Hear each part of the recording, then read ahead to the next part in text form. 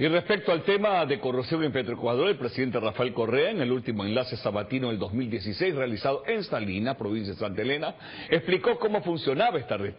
Además, esperó que un asambleísta de Alianza País sea expulsado de la lista 35.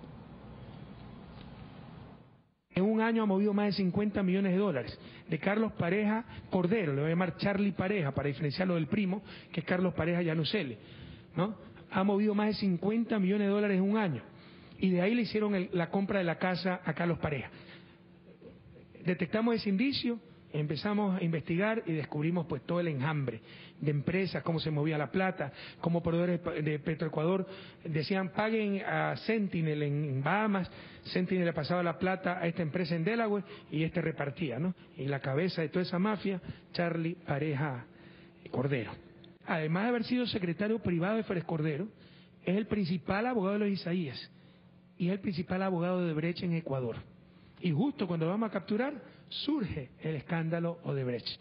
Por eso, señores, todo lo que digo de Brecht debemos tenerlo con beneficio de inventario, tomarlo con beneficio de inventario y con pruebas.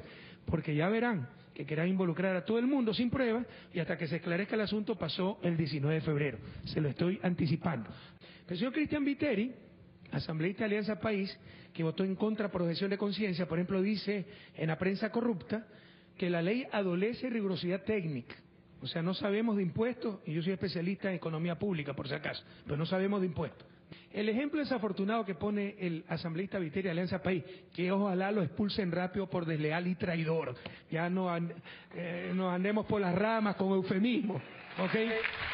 Es un señor figurete que busca tan solo atraer la atención. Y a mí me manda cada rato besos, abrazos, que no es contra usted, presidente, que es el mayor líder de la historia, no solo nacional, sino mundial, un iluminado. Ah, ya estoy viejo para creer esa cosa. Un traidor sigue siendo traidor. Aunque el traidor se vista de seda, traidor se queda, compañero.